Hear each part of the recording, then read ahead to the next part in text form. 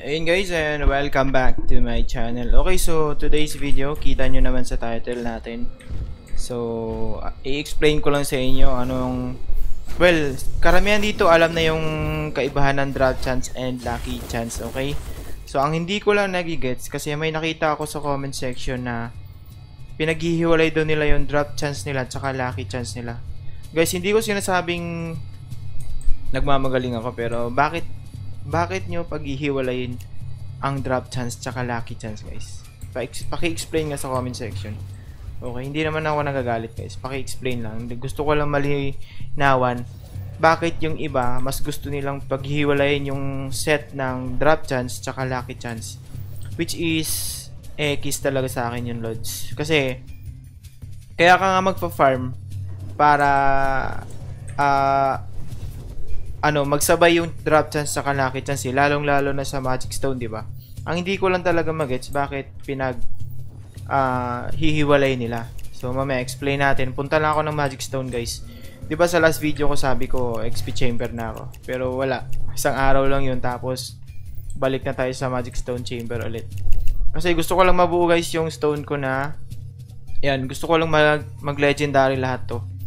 So, ayoko na ng pula, guys. Kadiri na tignan yung pula, eh. Joke lang. Huwag kayo magalit, ah. Shoutout pala sa mga naka-epic pa rin hanggang ngayon.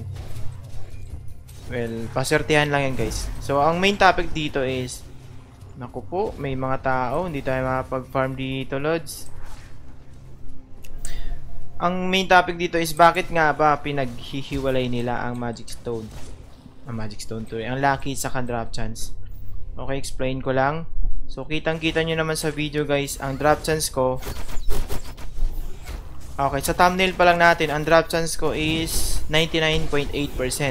Tapos yung lucky drop chance ko, 73.6%. Alam ko, miss, may mas mataas pa dyan na drop chance sa lucky chance sa akin. So, paki-comment guys kung ilan yung drop chance nyo and ilan yung lucky drop chance ko. So, pag nilagyan ko to ng drop, eto, kahit rare, ay meron pala. So, meron palang So, meron na palang drop chance. Meron na palang ano to, Lods. Meron na palang... Ang tawag nito. May tonic na pala yung drop chance nito na 99.8%. Okay, so kung ilalas lang natin yung ano, ilan lang ba yan? 15%. So, nasa around 99 minus 15 yun na lang, okay? But anyway, guys, alam nyo guys, ah, uh, hindi ako sa nagmamagaling pero alam kong pagkakaalam ko na ma, uh, maling-mali yung pinaghiwalay yung drop chance tsaka lucky chance. Kasi guys, para saan pa yung pag pag uh, pagfa-farm or pag-grind mo kung paghihiwalayin mo lang din naman yung drop chance, 'di ba? So punta lang tayo sa spirit, guys. And kung nakita nyo, yung deck 4 ko is yung puro to drop chance tsaka lucky chance. So ito, ginawa ko lang siyang ginawan ko lang ito ng gilag nilagyan ko lang ng epic na drop chance kasi nga uh, goods din naman pang XP to. And alam ko ayan may drop chance din to.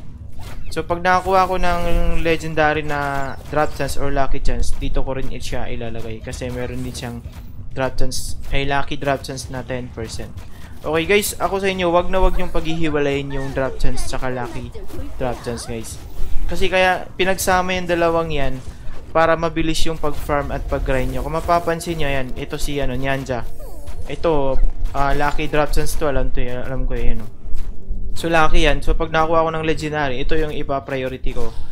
So, hindi ko to pang PvP, guys. So, lalagyan ko to ng lucky drop chance. Actually, mas okay kung ibabalance nyo siya eh. Like, for example, uh, ah, 100% sa lucky drop chance and 100% sa drop chance. Mas maganda i-farm yung ganun guys. Kaysa naman sa nakafocus kayo sa lucky drop chance guys. Uh, isipin nyo buti guys, bihirang bihira lang lumalabas ang lucky. Kapag nagbo-boss hunt lang kayo or may mga unique bosses dito katulad niyan. Nakikita nyo naman yan eh, lumalabas dito na nakalagay lucky. Kulay violet ba yun or basta yun yung lalabas. Alam nyo na yun. Ako sa inyo guys, habang maaga pa, baguhin nyo na yung sistema ninyo kasi maling-mali talaga. Eh, iwan ko ah, eh, paninindigan ko tong pagsamahin yung drop chance tsaka lucky chance kasi maling-mali talaga yung paghihiwalayin eh. Kasi para saan pa talaga yung pag uh, gagrind nyo ay kung paghihiwalayin nyo din naman, di ba? Ah, effective yung ah, mag- ang magandang ilaki drop chance guys. Halimbawa, kung gusto nyo talagang paghiwalayin, eh ayaw nyo talagang pagsamain. Maganda rin naman yung lucky drop chance kasi makaka-focus kayo kung madalas kayong nagbo-boss hunting. Like for example, yung lucky drop chance nyo is nasa tignan natin. Kung yung lucky drop chance nyo is nasa 110 pataas. So, pwedeng pwede yun kapag nagbobosan kayo ah, katulad ng sa Secret Peak o sa MS, nagbobosan kayo palagi. Tapos naka-AFK kayo sa unique bosses, yun. Maganda rin naman yung ganun. Pero yun nga, ang disadvantage lang dun is yung mga drop chance na nakukuha nyo. Ito, yung mga ganito guys. Itong glittering, itong elixir, glittering, tapos yung steel, lahat yan.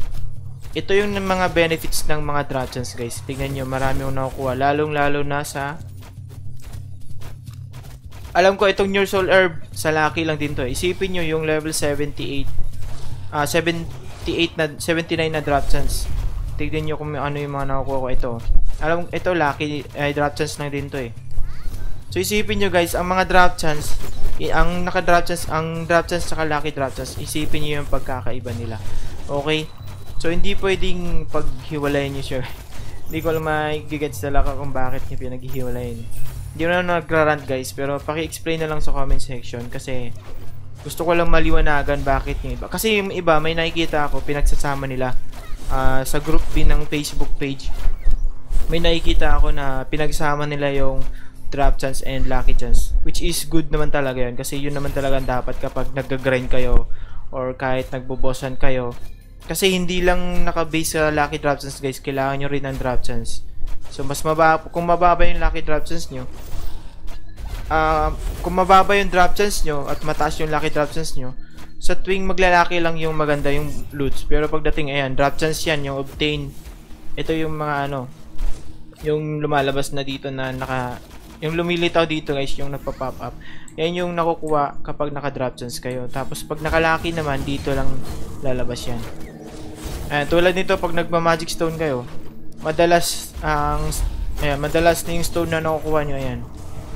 So, parang every 1 minute yata may nakukuha tayo. Ayan o. O, diba? So, ito yung nagiging benefits guys kapag pinagsama niyo yung drop chance and lucky chance. Okay? So, yung iba guys, paki-explain naman ako pa. Hindi naman sa nag-hate ako o nagraranta. Paki-explain na ako bakit nyo pinaghihiwalayin kasi hindi ko naman alam lahat eh. Yung gusto ko lang malaman yung sides nyo, di ba?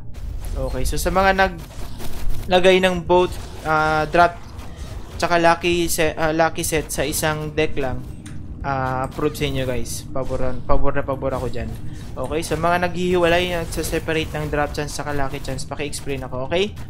So yun lamang guys, and once again, thank you for watching and see you on my next video guys. So, road to legendary set na tayo lahat, stones. Bye bye guys. Peace.